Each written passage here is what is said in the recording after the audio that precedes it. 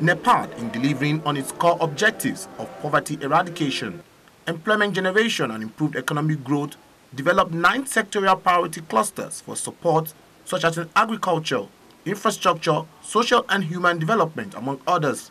The cluster programs have, however, not properly been impacting on NEPAD activities in Nigeria.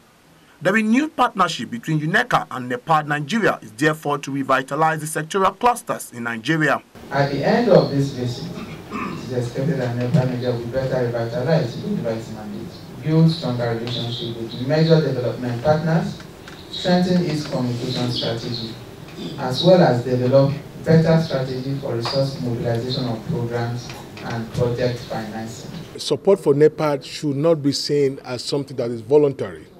It is something that can really catalyze the work that every government at the state level, local government level is, is, uh, is uh, you know, elected to do.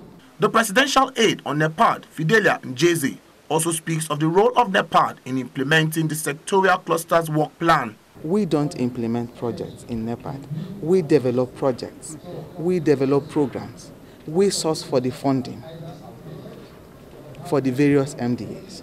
Highlights of the UNECA NEPAD Nigeria five-day mission was the release of the Maiden News Journal for Nigeria's NEPAD, the ICTV Launch Initiative and other electronic advocacy tool, all targeted at showcasing Nigeria's achievement on NEPAD initiatives. It is our mandate to actually, actually report on the activities of government to the Continental Office, to AU. Ehizo J. Momo, AIT News, Abuja.